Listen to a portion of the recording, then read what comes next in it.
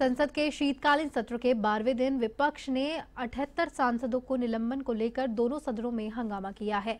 इसके बाद आज उनचास लोकसभा सांसदों को सस्पेंड कर दिया गया। इससे पहले विपक्षी नेताओं ने संसद भवन परिसर में गांधी प्रतिमा के सामने मोदी शाह मुर्दाबाद, तानाशाही मुर्दाबाद और मोदी सरकार मुर्दाबाद के नारे लगाए। वहीं निलंबित टीएमसी सांसद कल्याण बैनर्जी ने संसद के गेट पर राज्यसभा सभापति जगदीप धनखड़ की मिमिक्री की। इस दौरान राहुल गांधी समेत विपक्ष के कई नेता मौजूद थे तो वहीं कांग्रेस नेता राहुल वीडियो बनाते हुए नज़र आए। वहीं संसद के शीतकालीन सत्र की कार्रवाई शुरू होते ही विपक्षी सांसदों ने निलंबन को लेकर दोनों सदनों में हंगामा किया। हंगामे के चलते लोकसभा में अब बहत्तर सांसदों को सस्पेंड कर दिया गया है।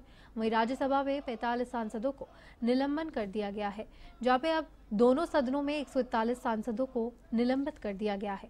सरकार की इस कार्रवाई का देश में गलत असर जा रहा है क्योंकि अभी तक लोकसभा और अध्यक्ष के उस सांसद के खिलाफ किसी भी तरह की कोई कार्रवाई नहीं की है जिसमें नाम का पास लेकर आरोपी युवक संसद में घुसे हुए थे।